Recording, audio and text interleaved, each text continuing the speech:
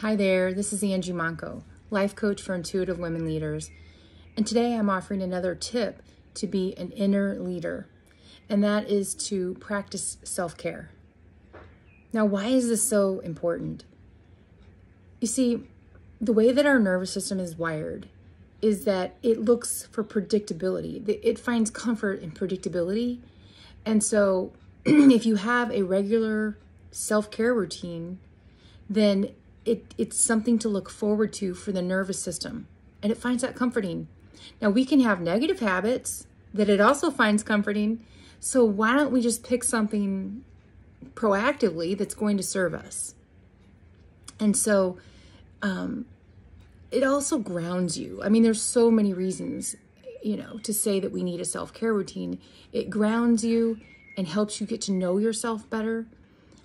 And, and calming our nervous system is everything. So when I say grounding, it's the same thing of giving some predictability to your nervous system to say, ah, I have that to look forward to. I know she's going to take care of me today. So here's my tip. The, you know, when it comes to self-care, it's as varied as people are. Like there's so many things you could do.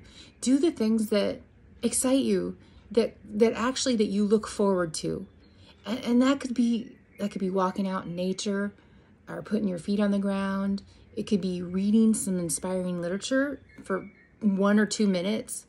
Um, and it could be journaling. It could be keeping a gratitude journal if that really pumps you up.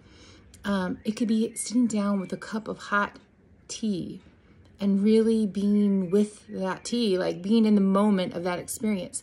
So it's so varied. Um, you just got to find something that you enjoy, okay?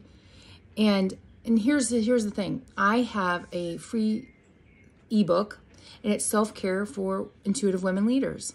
And so it's a 15 minute daily routine, and you can download it. I'll have the links below, and and it will give you a 15 minute formula to get you on track to creating your own self care routine. You don't have to like what I'm offering, but um, it will definitely give you a guideline from which to start. So I hope that you will take me up on that and check out my free ebook on self care for intuitive women leaders. Take care.